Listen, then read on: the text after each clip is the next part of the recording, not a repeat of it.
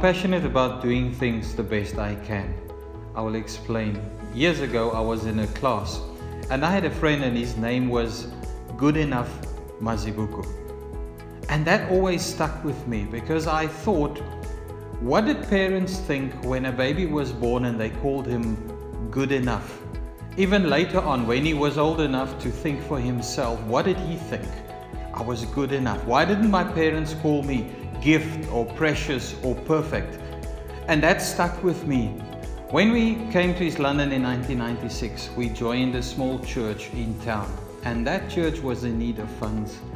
So somebody knew somebody who could provide a range of clothing for girls and for ladies.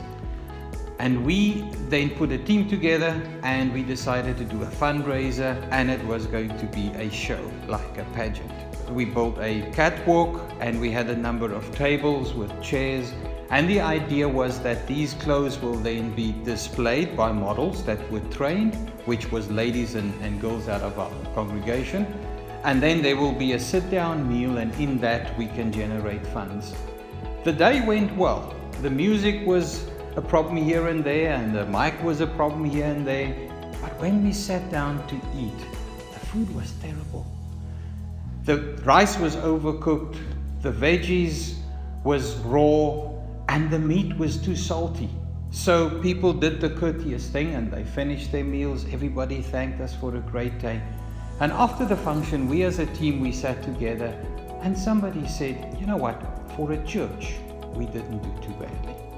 And that just didn't resonate with me. I said to myself, how can this be okay? I didn't uh, attack the lady, but I kept it with me because I just couldn't, it didn't align with me. And then I made the decision that because we are the church, I will do as long as I can the best I can because we're the body of Christ. So today I'm asking if we care for one another, let's care not good enough. Let's care more than enough. If we love, let's do it more than enough. If we worship, if we in church, if we in service, Let's do it more than enough. Why? Because Jesus gave everything. How can we do anything less?